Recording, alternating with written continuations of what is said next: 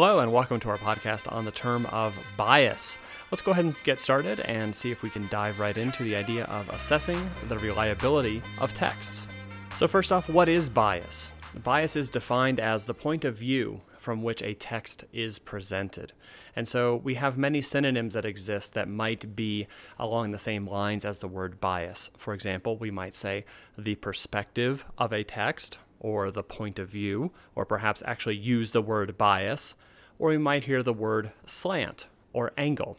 And so all of these words mean about the same. Basically, how is a story being told? From what perspective is it being told? What point of view? What bias? What slant? So now we know what bias is. What exactly is assessing the bias? This is when we examine a source for its bias or perspective and decide whether or not to use it for our purposes. And so, this is where we have to be savvy readers and viewers of text. We have to figure out what is the bias of this text that we're looking at. Why might we want to learn from it or use it in our research? What is the bias of that text, and can it help us advance our argument, or is it too biased or too slanted to help us with our purpose? And so we're going to break down the idea of bias into four compartments. We're going to examine texts on their currency, their reliability, their authority, and their own purpose. And when we can look at each of these individually, and when we look at these all together, that serves to be the umbrella of different ways we can assess a text's bias. So, why does bias matter? Why does our knowing what bias is matter? Why do we need a procedure by which we assess the bias of something? We have to understand that every text has a bias. Texts are made by human beings. They're not oftentimes made by machines. And so, since we are human beings, we have a bias for or against something. We see something in a certain way, we have a certain perspective on an issue, and those biases come into our work, sometimes intentionally, and sometimes more subtly, almost subconsciously. And so we have to understand that all texts are going to have some amount of bias to them. And so our job as readers and viewers and researchers is to figure out what is the bias of our text.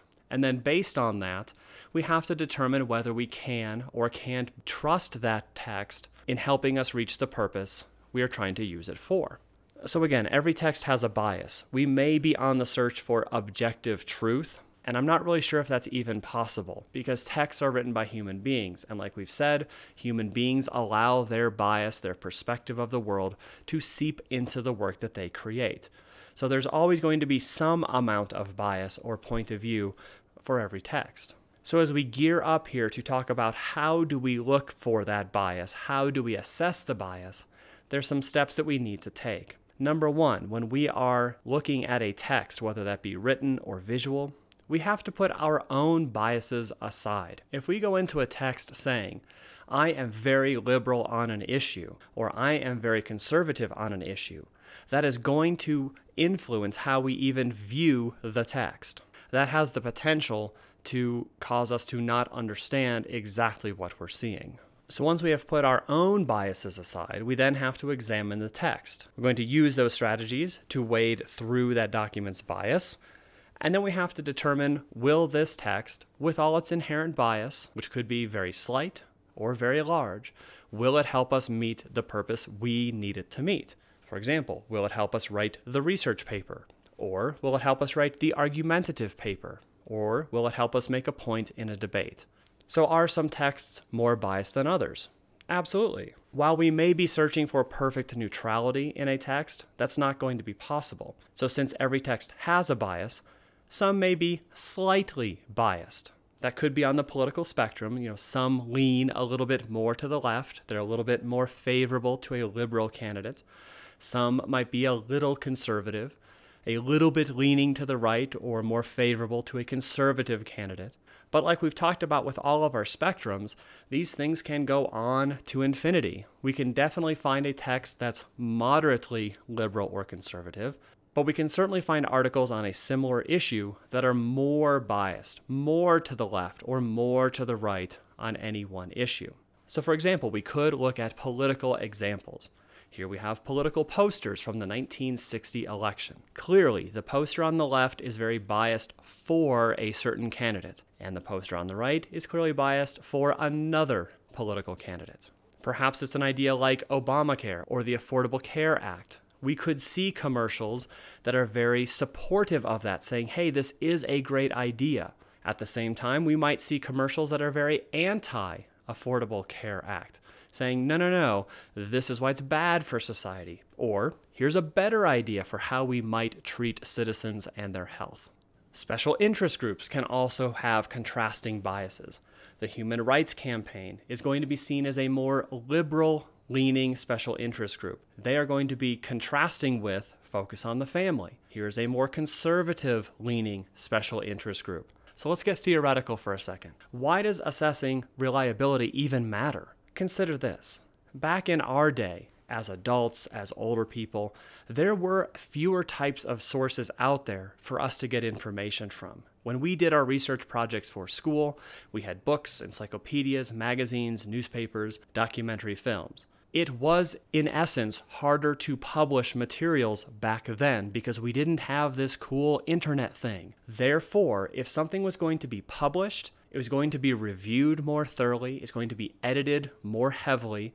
It was going to be processed a little bit more before someone spent the money to publish an encyclopedia set, or perhaps a magazine, or perhaps a book. So, as more and more pairs of eyes were placed onto books and the facts contained within them, if the goal of the document was to be less biased, as more and more people reviewed and edited it, more bias was taken out.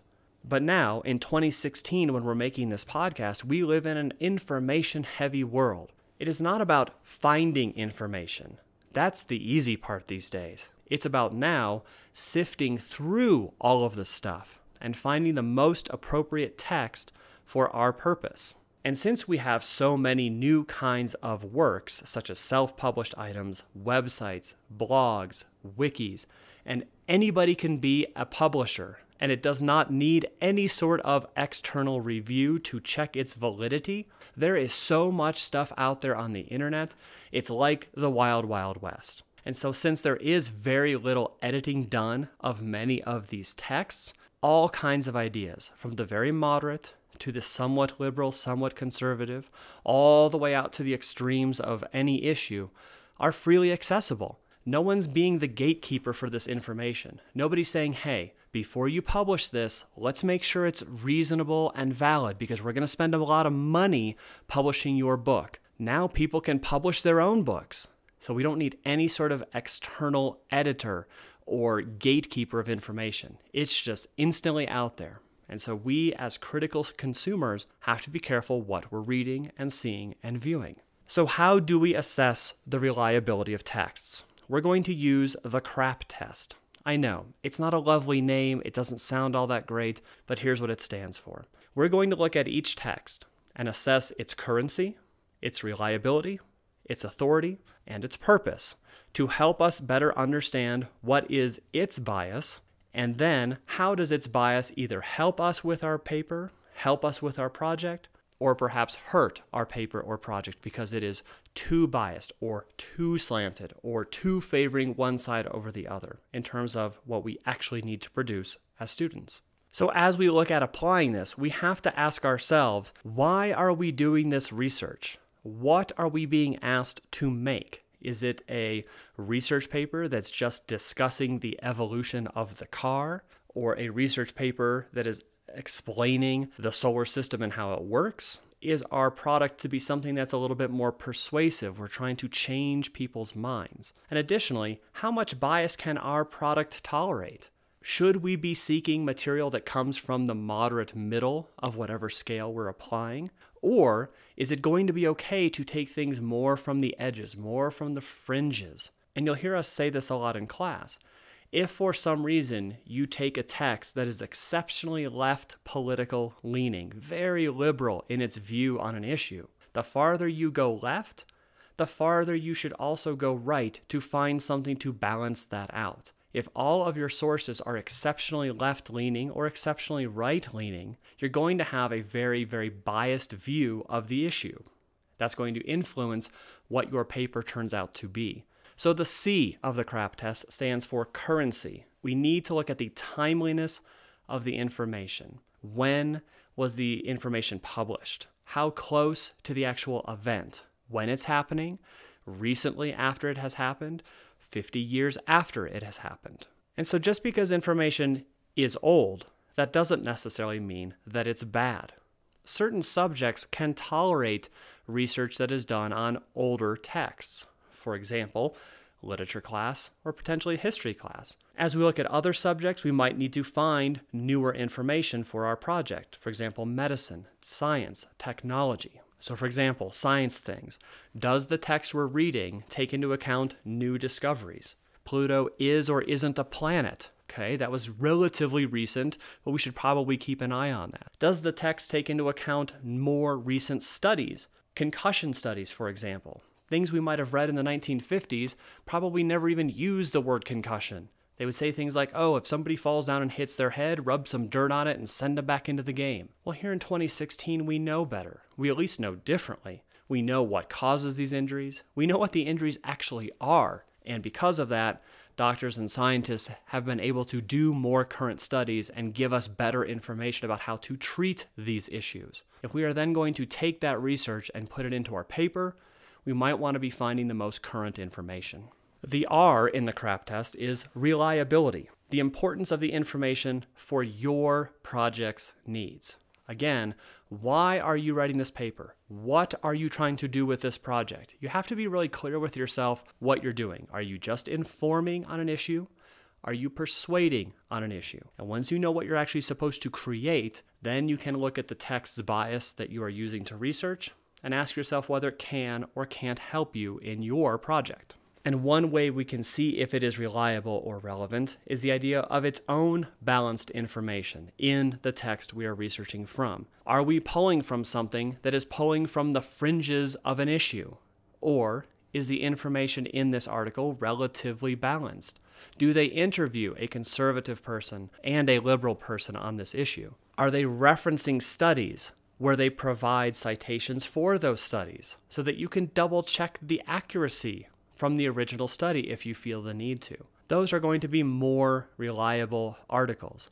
They have some internal balance. They have some internal moderation. If everybody they're quoting from is one way or the other on a scale, or very unusual that no other article seems to be talking about, that might be an indicator that this is not a real reliable article to begin with, and you should be thinking very carefully whether you would use it in your own paper or not. The A in the CRAP test is what we call authority. And so this is where we look at the credibility of the source of the information. So not only are we looking at perhaps the title or the information inside of that article, we want to go back and research who actually wrote this article. The more and more research you do, the more and more you will see that certain authors or certain groups or agencies have their own reputations of being consistent, credible sources, and they have great authority to discuss a certain issue, whereas other people or entities do not have great authority on certain issues.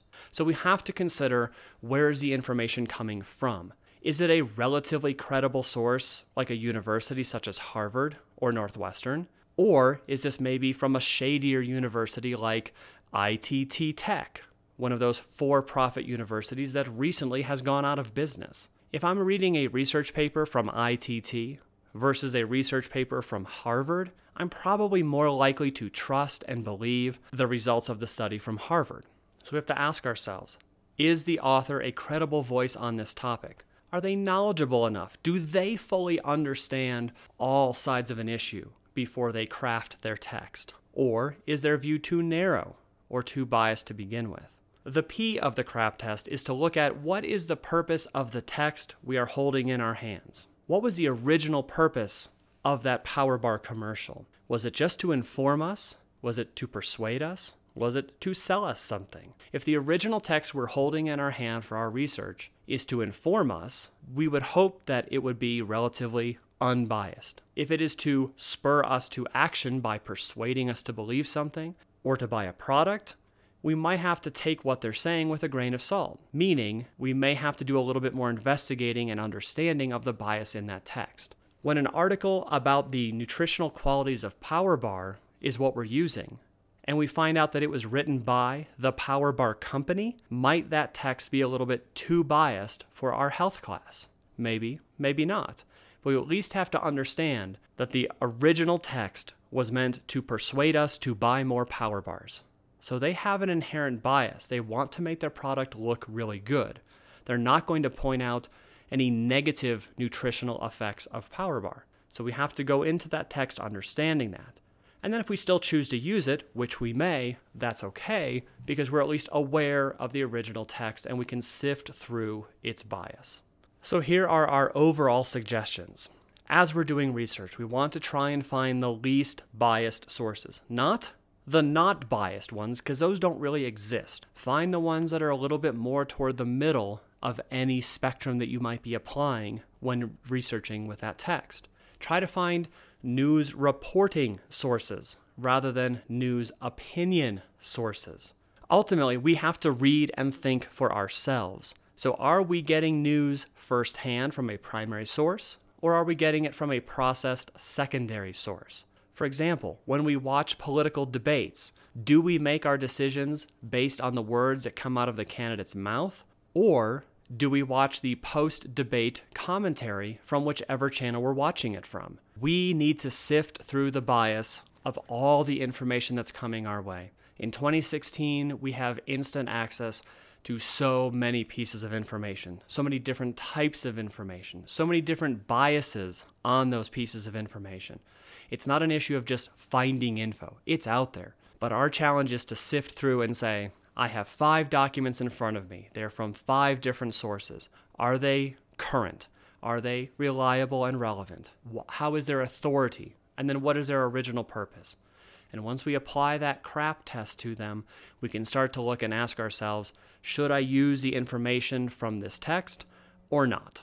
Also, work to get your information from a menu of sources. If you're getting all of your information from just left leaning sources, that's going to be a different view of the world than if you get some from the left, some from the right, some down that moderate zone in the middle.